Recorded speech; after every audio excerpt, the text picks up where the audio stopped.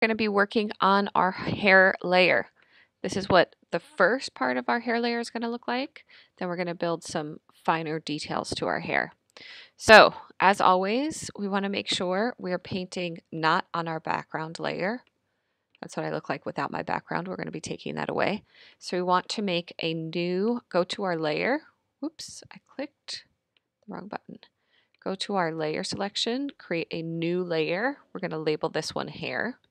We're going to have two hair layers. One is building kind of like a helmet of hair. So we're going to select our color. You're going to go in with your brush. And up my pixels a bit. You're going to go in with your brush and color all over your hair. And you want to make sure you are following your hairline. Kind of want to work a little bit closer. If you're having a hard time or if you want more detail, you want to make sure you use that magnet tool, get in there and get some of the finer details of the hair, like so. So that's the first layer. Let me un use my magnifying glass and show you fill screen. That's my layer of hair filled in. Notice that I used some smaller brushes down there. The next layer we're going to work on is of finer individual hairs. For this one, you want to work with pixels between 1, 3, 4 on your brush tool. Instead of just following the hairline, you actually want to make sure you are looking at your background, not that helmet that we just made. So I'm going to make my first hair layer invisible.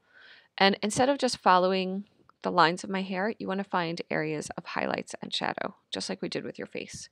So select an area, change to your base color, and in your small, oops, make sure my did I make a new layer? I have to make another layer for my fine hairs. So new layer.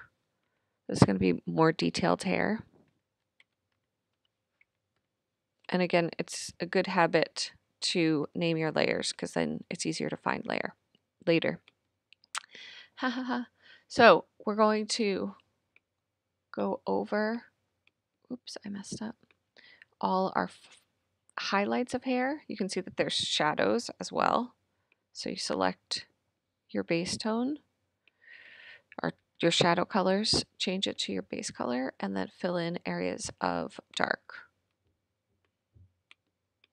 This is going to help it look less like a helmet and more like hair. And obviously the more fine details you have, the more convincing it's going to look. So there's some layers I did before. That was my base. Let's go back to my hair helmet.